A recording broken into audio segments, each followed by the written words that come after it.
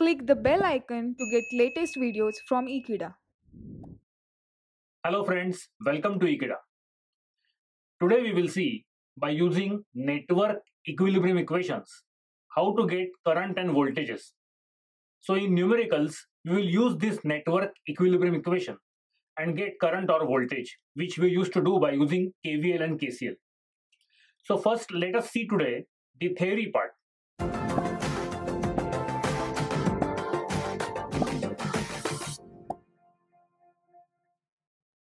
So here you can see under the heading network equilibrium equation, there are two parts. One is KVL equation, another one is KCL equation. So we will just take these formulas, we will just prove first one and rest we will assume as it is. And we are going to use this formula for solving numericals. As I told you in introduction, this will be used to get current and voltage. You can see a very simple circuit or a branch where impedance is ZK and voltage is VSK, it's a source voltage. And VK and IK are branch current and branch voltages. And for this structure, we have to prove that B ZB B transpose into IL is equal to B into VS. Now you will wonder what these terminologies are. But this B, as you know, it is nothing but tie set matrix. We have seen this in theory part of tie set matrix. ZB is branch impedance matrix. So whatever is the impedance in branch, which we'll come to know how to get it while solving numericals. BT is B transpose. So transpose of this matrix is here. IL means link current. There are links as well as twigs. We have seen that in tie set. So it is link current. Again, this B is same as tie set matrix and Vs is source voltage. So let's first write the KVL equation for this and try to prove this. So if I apply KVL, we'll come to know that Vk then minus Zk into Ik and plus Vsk will be equal to 0.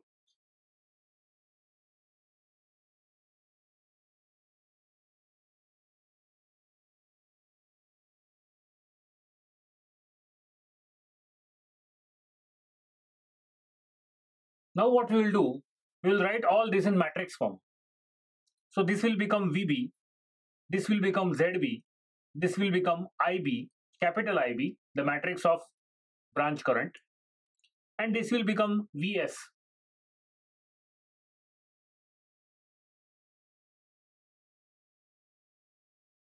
Now we should know what is this VB.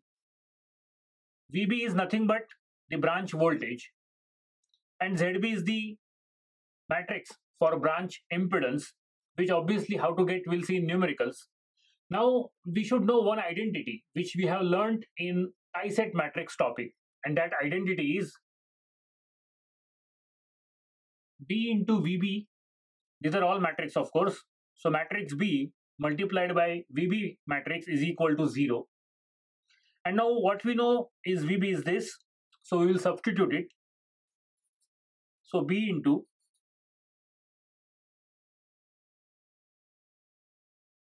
we'll open the brackets.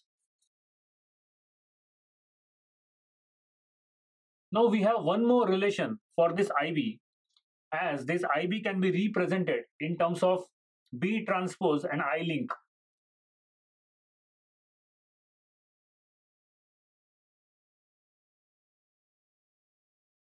This is a property which we have seen in one of the topics. So if I substitute this value here in this equation, what I will get is